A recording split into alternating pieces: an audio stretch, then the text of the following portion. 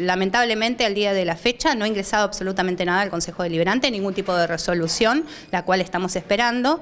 Como esto no ha sido así, estamos este, dialogando con distintos concejales para citar al secretario de Gobierno urgentemente al Consejo con nombres para que nos den explicaciones de esta, de esta situación. La crítica de la gente está centrada en que por un lado se aumenta el boleto y por el otro lado se restringe el servicio. Sí, por eso mismo, pero el aumento que, que pasó por este Consejo Deliberante era eh, en base a un estudio de costo donde todas las líneas funcionaban. Por eso a nosotros también nos llama la atención que tres semanas después de aprobar esto, este, vienen a plantear una emergencia, cuando este expediente estuvo acá este, en su análisis y se podría haber planteado ya esta situación que venía, a, supuestamente, según el secretario de Gobierno, venía acarreando la empresa. Hasta hoy, y esto es una opinión mía, escucho a la empresa, al sindicato, y al Ejecutivo hablar de esto. Y la verdad que nosotros, a mí particularmente, me, preocupa el alcance que tienen las medidas, porque en definitiva el único beneficiario o destinatario del servicio es el usuario.